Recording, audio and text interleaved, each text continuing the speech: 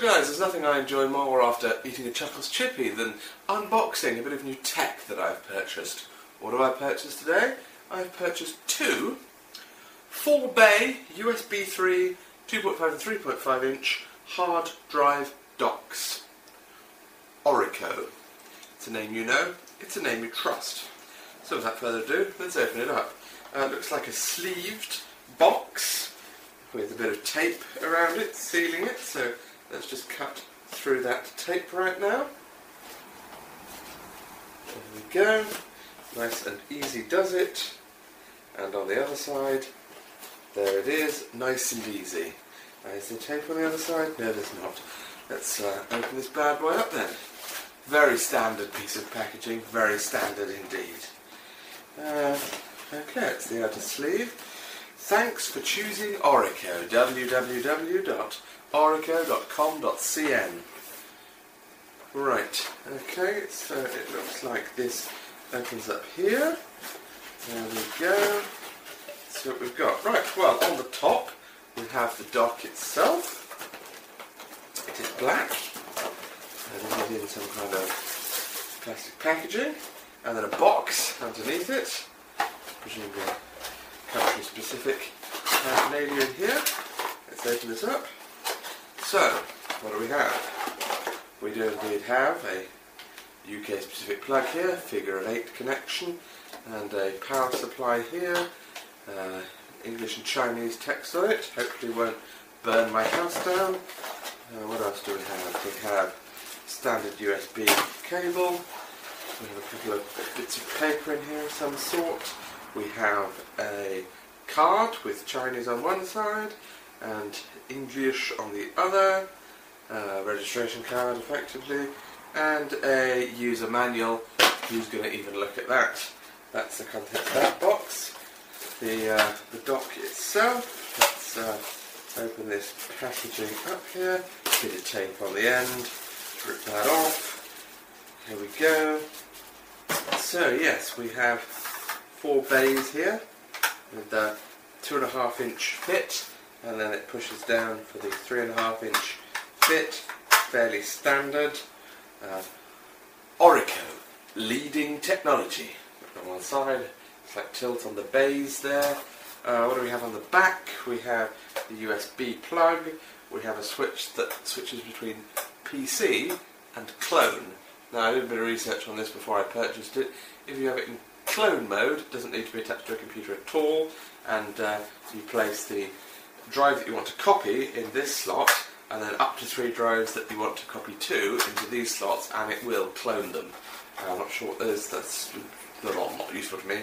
Uh, or PC mode, and they just appear as four USB attached SATA bad boys. And there's a start and reset button for running the clone mode stuff, and yeah, and then the power input. So that looks pretty good, probably exactly the same as in the other box. So um, without further ado, I suppose I should uh, get these rigged up to a machine. Well, here I have the two Orico units. It is my intention that they will be situated here on top of the cabinet. So I should be threading some USB and power cables from the section beneath around and up into the back of these gentlemen. So to begin, I ran in a two gang power extension plugged into the UPS under the unit. And I'll plug in my two UK power leads there. Then I will grab the two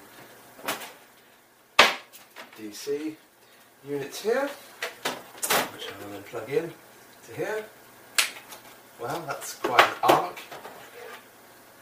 Wow that's some very nice arcing there. It's lovely and uh, those cables will then run around here and will hang over. Basically for the uh, units to plug into. And then of course we need USB so here we have our two USB cables. So those will plug into the back of this computer. Straight into those USB 3 blue coloured ports. I can slip that in effectively. There we go. And those cables will also run around the back there to plug into the back of those units. Jolly good. Okay, let's plug them in. Okay, so firstly, USB cable. These USB cables are, of course, absurdly short, as is so often the case. So it's only just about going to fit here. Just about going to reach. And the other one, just making sure these are both set to PC rather than to clone. Plug that in there. Okay, okay, there we go. All connected up. And then we'll turn the PC on. And now behold, if all is well, it'll hopefully boot up. And then we can plug some drives in. And uh, those drives will hopefully be seen by the operating system. Oh, how exciting. I arrived bearing gifts. A stack of old hard disk drives. Okay, well, let's not waste any time. Turn these on. Very exciting. Uh, Seagate Barracuda 7200 RPM, 1 terabyte. Going in to the first bay on the first unit. So, uh, light HDD1 has come on on the unit. I can hear the drive spinning up. There's a bit of clickage, flash, oh, red flashing on the HDD1 like there. Aha, here we have it. New USB, SDB, one terabyte. There we go, yes, Linux has indeed seen the drive. Try another one, exactly the same as the first one. Yes, HDD2 light has come on.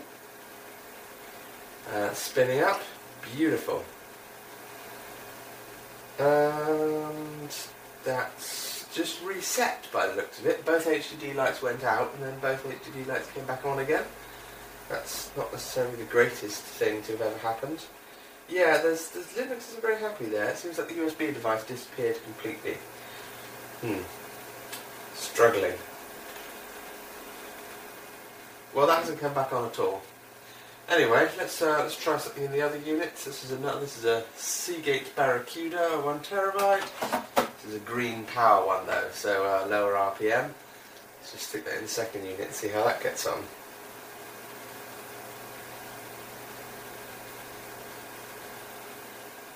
Well, red light come on, nothing really happening. Let's just plug lots of them in and just see what happens, shall we? Oh, all the lights went out on that one again. Let's these all in. Everything we've got. There we go, right, all eight drives plugged in. And the lights are kind of just going off on the second unit one by one. And there, all the lights are off on both units now. Oh, there we go. The four lights have just come on on the first unit. Second unit, no lights on. No kernel messages coming out at all. It's not brilliant, is it? Tell you what we'll do. Let's turn both units off. There we go. A uh, bunch of bunch of messages there on the screen about things going away. Right, let's just fire them up from cold and see what happens. Here we go. Right, eight drives, all about to spin up at once. Ooh, wow, that is vibrating the table quite significantly. That's quite a thing. Well, there's definitely patterns of lights going on. Ah, SDB, SDC, SDD, SDE. Okay, so we've certainly got the first four drives there. And that seems to be about it really. The uh, first unit's struggling a little by the looks of it. One of the lights is on red. Yes. Well, this doesn't seem to be going all that well, but it might be that some of these drives are a bit dubious. So I'll go away and uh, play around with this and see what I can get going on. Mr. Panikover. I stepped away briefly to get myself a beverage, and by the time I returned, seven of the eight devices were seen. So I assumed the eighth device was just a bit dicky and uh, giving it a little bit of trouble detecting all seven devices. I've removed the eighth device now, turned everything off and on again, and it detected them relatively quickly. So I think all is well. I then uh, DD'd out 10 gigs from DevZero onto each of the devices just to make sure that all was well. So I think we're all right. Anyway, without further ado, let's just hop on now and uh, set up a bit of ZFS across those drives, shall we? Okay, so let's log in using my queue. And first thing I'm going to do is list the block devices so you can see them. Uh, there we have it, our seven discs, each of size one terabyte, ready to use. So I'm going to create a mount point to put this volume on, var data, and then uh, zpool create forcibly at the mount point slash var slash data. Uh, I'm going to call the um, volume my data, and I'm going to make it a RAID Z2. Now, for those of you who are not overly familiar with ZFS, the RAID Z2 gives you two disks worth of parity. So I've got seven one terabyte disks. I'm using two disks worth of capacity for parity data, which gives me five terabytes of usable disk space and means that I can afford two failed disks before there's any risk of me losing my data. ZFS does support Z1, Z2 and Z3 for one, two or three disks worth of parity data and as these disks are a bit old I figure the chance of two drives failing simultaneously is a little higher so I'll go with two disks worth of parity. Right, and then we decide what to incorporate. So, divided SDB, SDC, SDD, SDE, SDF, SDG, and SDH. So, those are our one, two, three, four, five, six, seven disks that we're going to include in the RAID set. So, let's create that. Oh, how very exciting this is. And it's now uh, creating that across those seven disks. And there we go, no error messages, that's probably a good sign. So let's uh, do a zpool status, my data, and uh, there we go. We can see from the output that we have uh, our RAID Z2 with seven drives in it, so that's very exciting. Um, and let's just have a look at uh, the uh, mounted volumes on ZFS. There we go, my data on slash var slash data type ZFS. So if we go into slash var slash data, let's just create a file and have a look. Spell. Uh, there we go, and there is a file on my new RAID set called My File Um, well, I guess that's about it really for this video. I've taken some drives, I've created a Z pool, and, uh, and I have 5 terabytes to play with to my heart's content. Well guys, thank you very much for watching today's video. I hope you found it interesting and informative. And guys, as usual, please do feel free to comment below. But for now guys, there's very little more left for me to do, except to say thank you for watching, look forward to seeing you in the next one, and goodbye!